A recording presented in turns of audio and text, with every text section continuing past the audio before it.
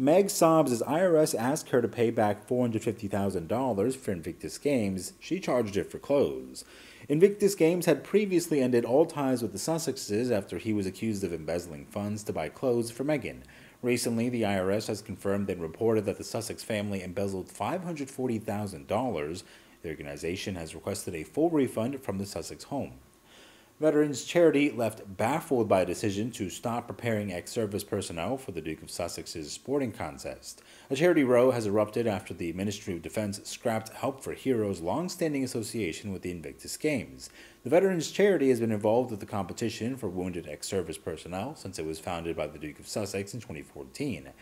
Help for Heroes had led the training, selection, and development of the UK team along with the Royal British Legion, but now the Ministry of Defence has decided to make RBL solely responsible for the veterans' involvement in the Invictus Games. The decision was made before last month's contest at The Hague in the Netherlands, which was attended by the Duke and the Duchess of Sussex, but the announcement was delayed until now to avoid overshadowing the Games. It came after Help for Heroes' relationship with the MOD was criticized in a 2012 BBC Newsnight report, which claimed that the charity had used funds to subsidize expensive MOD buildings rather than for soldiers' everyday care.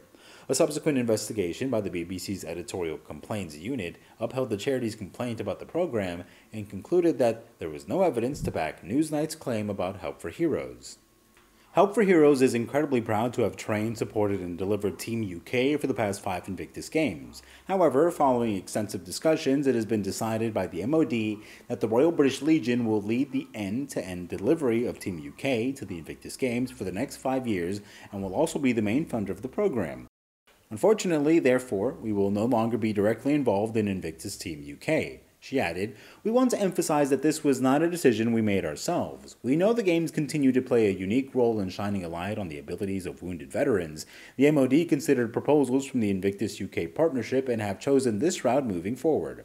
Our focus now is on helping more people across the UK within their communities as part of keeping our promise to be here for wounded veterans for as long as they need us. Of course, we will continue to cheer Team UK on and look forward to seeing what the Invictus Games achieves in the future.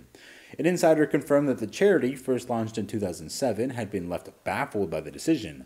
An MOD spokesman said the Royal British Legion was able to offer secure funding, more personnel to support the team, and a commitment to supporting Team UK into the future. We therefore felt this would be the best choice for Team UK.